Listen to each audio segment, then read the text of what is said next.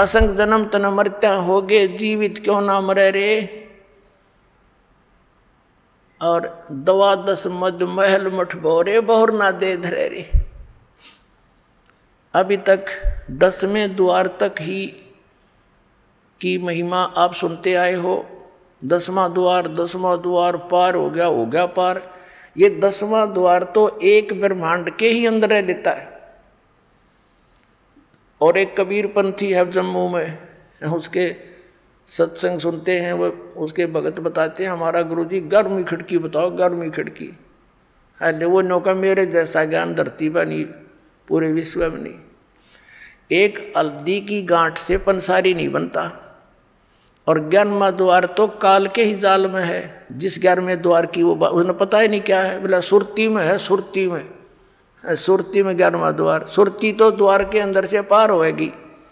इन्हें खक नहीं पता, ज्ञानिया ने मूर्ख बना रहे जनता को।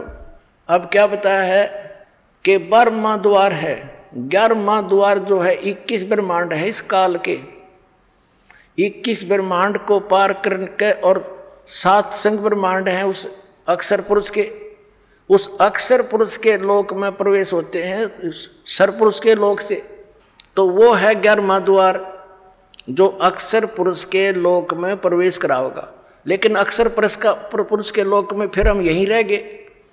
पार नहीं हो सके। तो फिर बारहवा द्वार है जो सात संख ब्रह्मांड काल के पार करके और सतलोक में प्रवेश करता है। वहाँ इन सब जगह लोक लगे हुए हैं और इस सतनाम के बगैर वो खुल नहीं सकते। तो वहाँ बर में द्वार में को पार करके वो सतलोक है, वो स्थान है, जहाँ जाने के बाद फिर लौट कर प्राणी संसार में कभी नहीं आते। उनका जन्म और मरण का दीर्घ रोग समाप्त हो जाता है। असंग जन्म तन मृत्या हो गए जीवित क्यों ना मरे रे? और द्वादश मध्य महल मठबो रे। बारहवा द्वार पार करके वहाँ वो वो मठ है, वो स्थान है।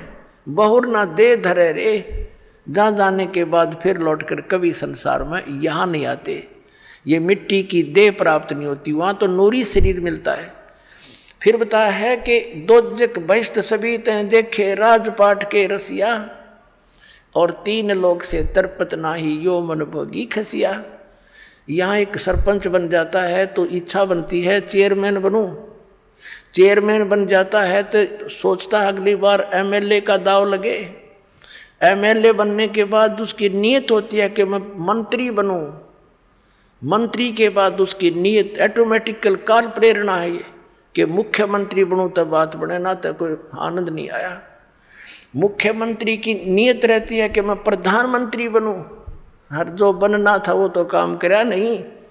और फिर गदा संतरी बने, मेरे कहने, क्योंकि तब से राज राज मदमानम और जन्म तीसरे शुक्र सवानम।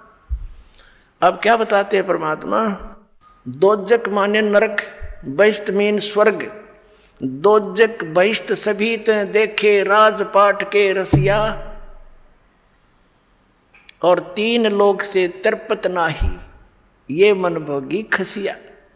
इसने चाहे तीन लोग भी दे दे तब भी इतना, इसकी व्यर्थ, इतनी घटिया वृत्ति है, न सोचा और देख लो कि तो पा जाता। अरे इतना मृत्यु हो जाए फिर यही सैर से पट्टा करता फिर, कुत्ता बनकर गलियों में जूठे टूक खावे फिर क्या बताते हैं, सतगुरु मिले तो इच्छा मिटे, और पद मिल पदे समाना, और चल हंसा उस लोक पठाऊं जो आदि अमर अस्थाना। यानी सतगुरु मिलेंगे, सच्चे संत मिलेंगे, सतगुरु मिले तो इच्छा मिटे, पद मिल पदे समाना। श्रीमद् भगवद गीता अध्याय नंबर पंद्रह के श्लोक नंबर चार में कहा है कि जब तत्वदर्शी संत मिल जावे, उसके पश्चात परमेश्वर के उस परम पद की खोज करनी चाहिए। जहाँ जाने के बाद साधक फिर लौट कर कभी संसार में नहीं आते। उसके लिए क्या बताया है? गीता ज्ञानदाता तो कहता कि तत्वदर्शी संतों की खोज करो। गीता जी अध्याय नंबर सत्रह के श्लोक नंबर तेईस में कहा कि उस परमात्मा के उस परम पद के पाने की ओम तत्सत इति निर्देश है, ब्रह्मण त्रिविद समर्थ है। उस तीन मंत्र के जाप से वो परम पद प्राप्त होगा। ये पद्धति है। पद्धति माने वे ऑफ़ वर्शिप, पूजा का मार्ग, पूजा की पद्धति। अब यहाँ देखो, ये है सूक्ष्म वेद ये इस वेद से भी गुण रहस्य रखता है। जो आप वेद आप पढ़ते और सुनते आए हो। इसमें क्या बताया है कि सतगुरु मिले तो इच्छा मेटे, वो ऐसा ज्ञान देगा कि यहाँ से अपने आप मन हट जाएगा और सच्चाई है सारी है सतगुरु मिले तो इच्छा मेटे और पद मिल पदे समाना पद मिलने से, पद माने पद्धति या तीन मंत्र का जाप, ये पद्धति है। जैसे पद्धति में ये सारा प्रोसेस आ जाता है, प्रथम मंत्र, ये सात नाम का। सब चैनलों को ऑन करेगा, खोल लेगा, आपका रास्ता साफ़ करेगा त्रिकुटी तक जाने के लिए।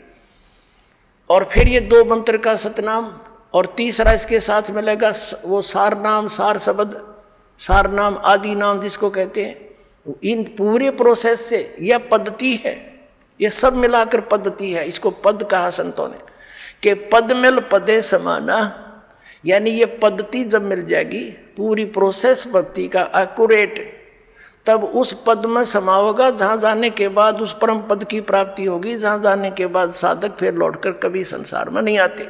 सतगुरु मिले तो इच्छा मेटे, पद मिल पदे समाना। और चल हंसा उस लोक पठाऊं, जो आदि अमर अस्थाना, जो शाश्वत स्थान है। गीता जी अध्याय नंबर अठारह के श्लोक नंबर बैसठ में कहा कि, अर्जुन, तू सर्वभाव से उस परमेश्वर की शरण में जा। उसकी कृपा से ही तू परम शांति को और सनातन परम धाम को प्राप्त होगा। फिर क्या बताया वहाँ क्या सुख है? चार मुक्ति जहाँ चंपी करती, जो इन यहाँ तुम चौथी चार मुक्तियाँ मानते हो इस नकली लोक में।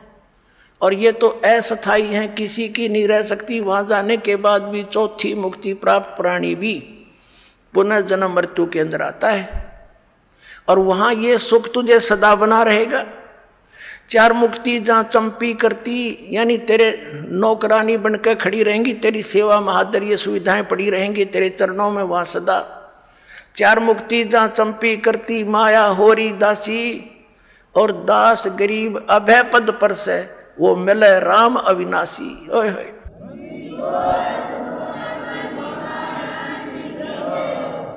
चार मुक्ति जहाँ चंपी करती, माया होरी दासी और गरीब दास जी कह रहे हैं, दास गरीब अभय पद पर से वहाँ कोई चिंता, कोई टेंशन, कोई भय नहीं, मृत्यु किसी प्रकार का भी।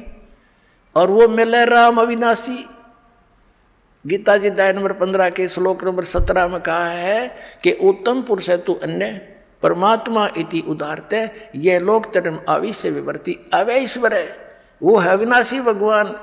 वो परम अक्षर ब्रह्म है, वो कबीर देव है, वो कबीर परमात्मा है। और इस साधना से मिलेगा तो दास बताओगा ना, कहीं नहीं मिलेगा आपको। बोलो, सतगुरुदेव।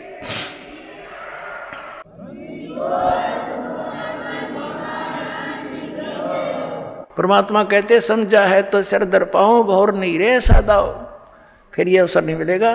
बोलो, सतगुरुदेव की जय हो।